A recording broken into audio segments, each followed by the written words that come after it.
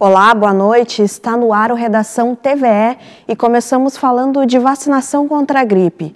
Isso porque, com a chegada do frio, Porto Alegre vai realizar neste sábado o dia D para imunização contra o vírus influenza. Cerca de 21 postos de saúde vão funcionar entre as 9 da manhã e as 5 da tarde deste sábado para a vacinação estão aptos para receber o imunizante contra a gripe crianças entre 6 meses e 6 anos, idosos acima de 60 anos, trabalhadores da saúde, indígenas, mães que tiveram seus filhos há 45 dias ou menos e professores. Integrantes desta última categoria devem apresentar crachá, contra-cheque ou algum documento que comprove vínculo com instituições de ensino. Quem vacinou contra a Covid deve esperar no mínimo 14 dias para poder receber a vacina da gripe. A meta do município é chegar a 90% da população alvo vacinada. Atualmente, cerca de 20% desse grupo já conseguiu se imunizar. O Ministério da Saúde divulgou hoje nota técnica confirmando o início da vacinação contra a Covid-19 para profissionais da educação. O informe também permite que os municípios criem uma segunda fila por doses, em ordem decrescente de idade, a partir de 59 anos, para a população em geral. Aqui em Porto Alegre, a Prefeitura confirmou o início da vacinação de professores e funcionários da rede pública municipal. A imunização começará na terça-feira, 1 de junho, pelos profissionais que atendem crianças de 0 a 3 anos na educação infantil e será ampliada de forma gradual. A rede municipal de ensino de Porto Alegre possui cerca de 5.600 professores e funcionários. A prefeitura também ampliou para 55 anos a faixa de idade das pessoas com deficiência permanente que podem ser vacinadas contra a Covid-19. A vacina aplicada será a Oxford AstraZeneca e aumentou também para 30 o número de grupos de pessoas com comorbidades que podem receber a vacina. A Secretaria da Saúde incluiu também doenças cardiológicas e neurológicas crônicas. O governador Eduardo Leite também confirmou nesta tarde o início da vacinação contra o coronavírus para os profissionais da educação em todo o estado. A imunização deve começar com a chegada da próxima remessa de vacinas, que vai ser recebida pelo governo federal. A prioridade era, é para profissionais de creches e pré-escolas. Segundo a Secretaria de Saúde, a categoria dos profissionais da educação tem cerca de 217 mil pessoas no estado. Estudo de pesquisadores da Fiocruz reforça a importância da segunda dose de vacinação contra a Covid-19. A análise apontou que pessoas com mais de 70 anos que fizeram apenas a primeira dose de Coronavac não ficaram tão protegidas das complicações do vírus. A avaliação chama a atenção para a variação da eficácia da vacina para os mais velhos. Quem vai nos trazer mais detalhes desse estudo é o médico infectologista Júlio Croda, um dos responsáveis responsáveis pelo estudo. É, doutora, a gente vem reforçando aqui né, ao longo dos dias a importância da vacinação é, e, ao mesmo tempo, ajudando um pouco a esclarecer essas dúvidas que aparecem sobre a eficácia. Né? O que, que esse estudo é, pode nos dizer, sobretudo sobre essa população idosa, que é quem tem é, recebido, é, começou, né, que deu a largada nessa vacinação. Bem-vindo aqui ao Redação. Prazer estar com vocês do Redação. É, o estudo avaliou 15.900 idosos do estado de São Paulo e a gente pôde observar uma diminuição da efetividade com o aumento da idade. É, e nos preocupa mais os idosos acima de 80 anos, né, porque foi onde ocorreu uma redução importante de efetividade. É, então a gente tem que reforçar né, a mensagem que é necessário as duas doses de vacina. Sem as com uma dose apenas da Coronavac, a efetividade ficou abaixo de 20% nessa população. Então, o idoso deve retornar sim ao posto de saúde para receber, atualizar a sua segunda dose para garantir realmente uma proteção adequada. É, essa situação né, dos mais velhos é, também ficou muito em evidência nessa semana, né, que a gente é, tristemente perdeu é, o compositor, sambista Nelson Sargento, que foi um dos primeiros, né, quase um símbolo ali do início da vacinação no Rio de Janeiro, é, e é, faleceu devido a complicações aí da infecção por coronavírus. Então, esses casos acabam gerando realmente essas dúvidas com relação à faixa etária. Esse grupo, então, que o senhor fala que é o mais vulnerável, é a partir dos 80, né? Ele tinha 96, o Nelson Sargento, quando é, veio a falecer. Exato, né? A gente viu entre 70 e 74 anos 62% de efetividade global, entre 75 e 79, 49, muito similar ao ensaio clínico do Instituto Butantan, mas acima de 80 anos, 28%. Essa efetividade global em relação ao adoecimento, a proteção em relação a, a infecções assintomáticas e adoecimento. A gente não avaliou hospitalização e óbito. Muito provavelmente, né, é, essa efetividade deve ser sim acima de 50% em relação à hospitalização e óbito, mas não deve ser 100%. Então, as pessoas é, que estão sendo vacinadas devem manter as medidas preventivas, o uso de máscara, o distanciamento, evitar aglomeração, é, porque a vacina não é 100%, eficaz, efetiva, e eventualmente a gente pode ter pessoas que tomaram as duas doses, foram hospitalizadas e infelizmente algumas também que perderam sua vida. É, também, a partir de estudos como esse, tem se discutido a possibilidade de as pessoas fazerem uma nova dose ou é, tomarem, né, receberem uma outra vacina. Existe realmente essa discussão já em que pé ela está, doutor? Existe essa discussão, sim, né, para aumentar a efetividade global, a proteção em relação ao adoecimento, principalmente nesse grupo acima de 80 anos. A gente tem que entender que a partir do segundo semestre a gente recebe um lote expressivo de vacinas de outras uh, marcas como Pfizer, Janssen, vai continuar recebendo Coronavac, AstraZeneca. Então a gente tem que entender qual a vacina melhor para cada público-alvo Recentemente a gente parou de recomendar a AstraZeneca para gestante, né? É, a gente pode é, agora, a partir do estudo nos Estados Unidos e aprovação do FDA, é, utilizar a Pfizer para crianças, por exemplo, de 12 a 18 anos, e a gente pode reservar a Coronavac para adultos jovens que apresentam uma boa resposta imunológica à vacina e baixo risco de evoluir com gravidade da doença. Então, no futuro é isso que a gente vai fazer, a gente vai é, de alguma forma, é, identificar qual a melhor vacina para cada grupo em termos de efetividade, que com menos eventos adversos possíveis. O senhor tem participado de vários estudos, né, doutor, justamente para tentar mapear qual está funcionando mais, né? É, então a gente deve receber nos próximos meses alguns resultados também com relação a outros fatores é, que a vacina incide, né, sobre os quais a vacina incide. É, a gente tem uma análise de efetividade para hospitalização e óbito, tanto na cidade de Manaus como na cidade de São Paulo, em idosos também. A gente vai poder comparar a AstraZeneca com o Coronavac na prevenção de hospitalização e óbito. Nós temos a efetividade global da AstraZeneca, que é, começou agora no estado de São Paulo, então a gente também vai ter esses dados. E é importante avaliar outros grupos especiais, como imunossuprimidos, né, que podem ter uma resposta menor às diferentes vacinas.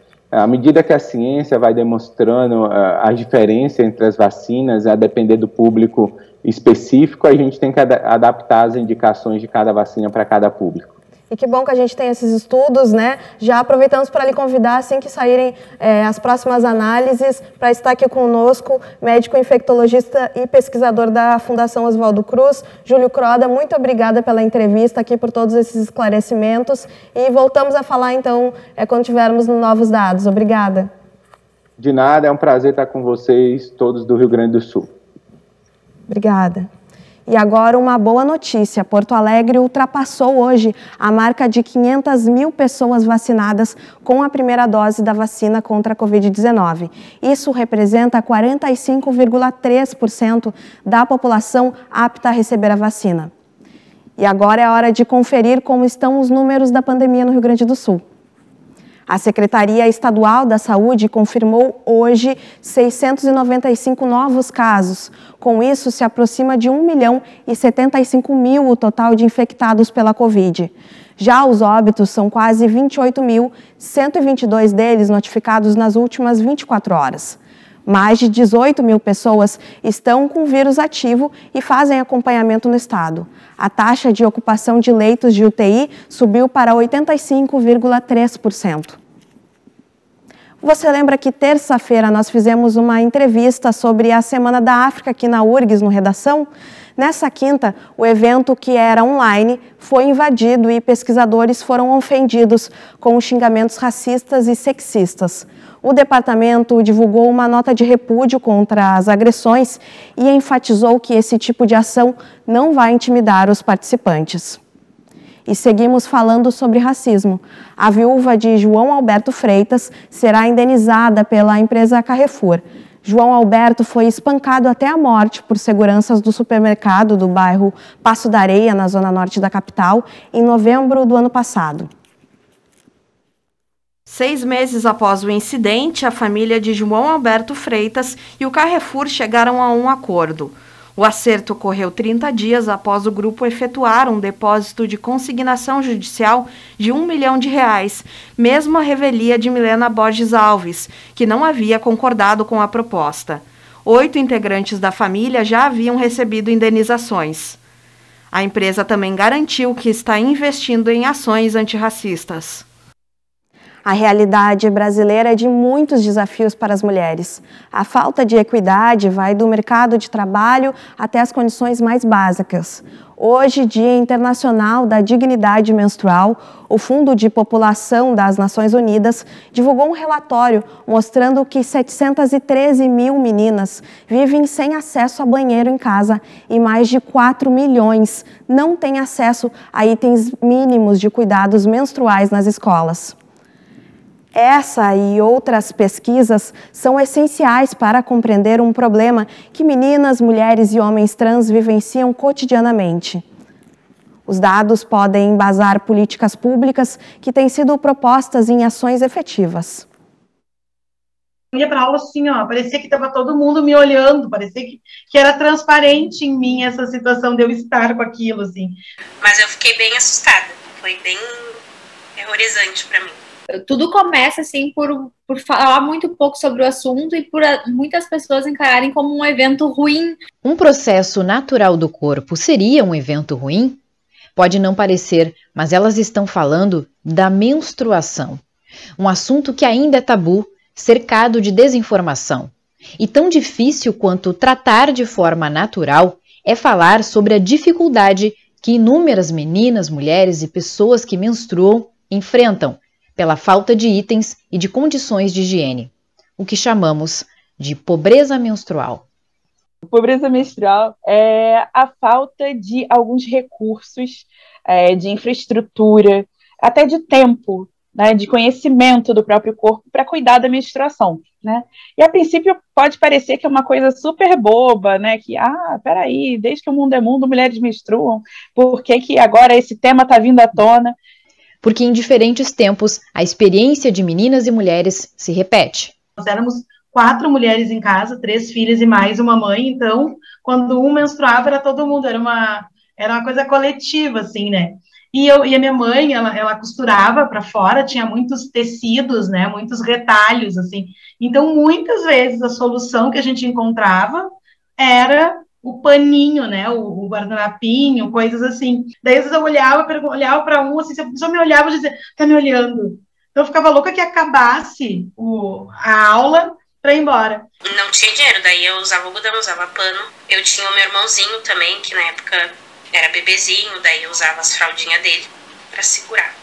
Eu queria ficar em casa, eu não queria ir pro colégio, porque eu tinha medo de toda hora ficar manchando. Isso já aconteceu diversas vezes no colégio, de eu me manchar. E chegou a ir embora de alguma aula alguma vez? Sim, já.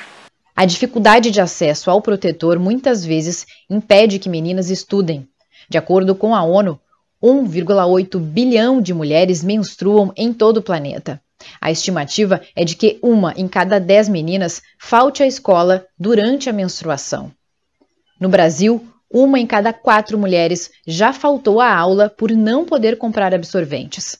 48% tentaram esconder que o motivo foi a falta de absorvente, e 45% acredita que não ir à aula por falta de absorvente impactou negativamente o rendimento escolar. Para quem vive em situação de vulnerabilidade social, não ter acesso a água encanada e banheiro com privacidade, somado aos custos dos absorventes que são altos, faz com que muitas vezes eles sejam substituídos por papel, algodão, pedaços de sacola, jornal e até miolo de pão.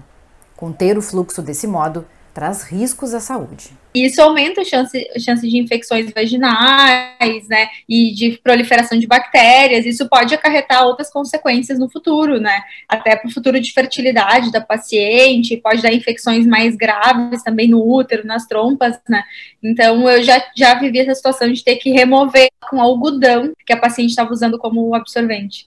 Recentemente, muitas iniciativas têm se voltado para a dignidade menstrual o Instituto E Se Fosse Você, que em função da pandemia começou um projeto de doação de cestas básicas, percebeu a necessidade de doar absorventes.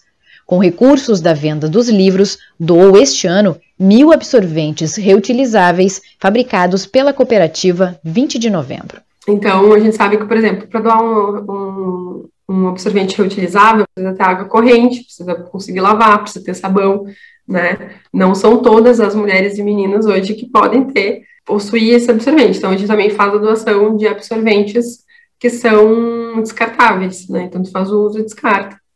A gente, eu gostaria que todo mundo pudesse ter acesso a absorventes reutilizáveis.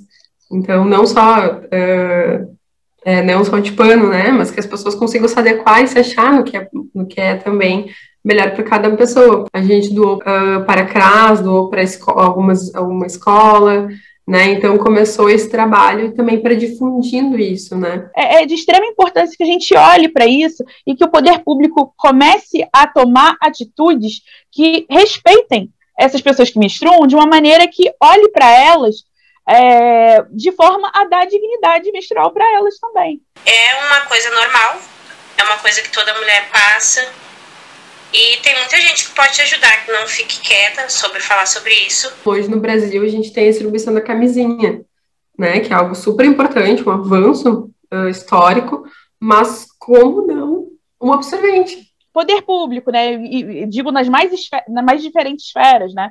É, a esfera municipal, estadual, federal, precisa atuar de uma maneira a, a, a, a dar dignidade para essas mulheres, né? Mas também tem a questão de, de repente, as mídias, né? Vamos tratar de uma maneira mais positiva, vamos trazer é, informação também, né? Educação também. A sexta-feira foi de muita chuva no Rio Grande do Sul. Porto Alegre já registrou mais de 40 milímetros de chuva. Em muitas cidades houve temporais com raios. Confira agora a previsão do tempo para amanhã.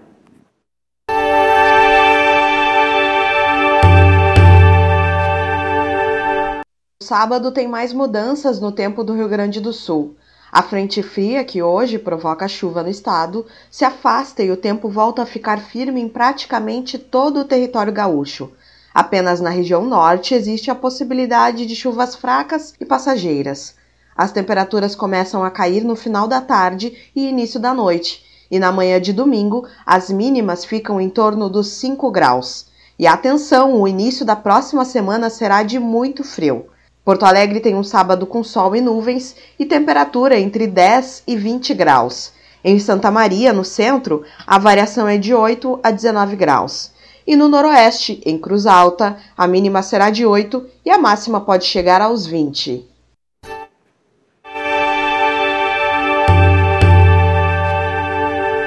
Está disponível em várias plataformas digitais o documentário Paisagens Rítmicas, que aborda a trajetória do músico gaúcho Júlio Flavínia, em sua busca pela harmonia entre ritmo e alma. Com direção do também gaúcho Lê Daros, o documentário apresenta o baterista percussionista acompanhado de parceiros musicais em diversos lugares.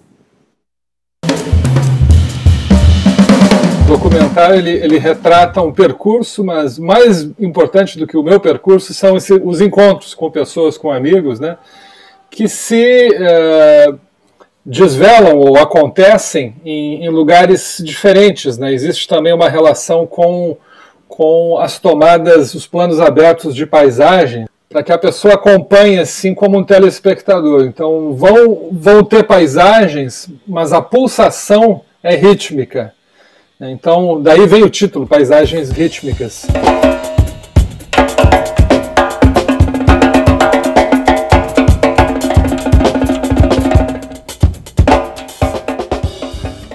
Então é, é uma experiência assim muito pessoal e transpessoal ao mesmo tempo, no sentido em que não é um documentário necessariamente biográfico, mas são impressões recolhidas no percurso com pessoas com quem eu tenho uma relação desde o início da minha carreira, né, do meu, da minha caminhada musical, até, o, até os dias de hoje.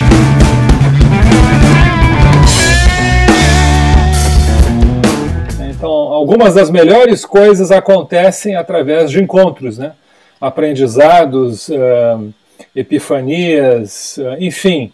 Uh, eu acho que toda a, a, vasta gama dos sentimentos humanos, né, ela passa muito pela interação, né, pela forma como nós nos relacionamos com, com o mundo, com o outro, né, e como nós nos espelhamos em outras pessoas e como esses ambientes, paisagens, situações também se tornam parte da nossa essência, né? Nós nós absorvemos aquilo e transformamos isso em, vivência, né? em experiência.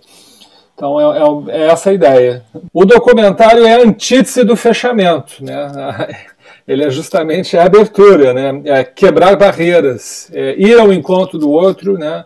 receber aquilo que o outro tem para oferecer. Também está no documentário a minha esposa, a Bianca, a gente toca várias músicas juntos, músicas que ela compôs especialmente para o documentário, uh, baseadas no laboratório que a gente sempre teve de bateria e piano, assim, então criar a partir de uma levada uma harmonia, ou ter uma ideia melódica ela desenvolver. Inclusive pessoas que não são da área musical, pessoas leigas, né, entre aspas, elas vão poder apreciar bastante, porque tem uma tem uma fluidez, tem uma certa leveza que eu acho que eu posso arriscar dizer que, que foi, foi alcançada no, na produção, no corte final. Né?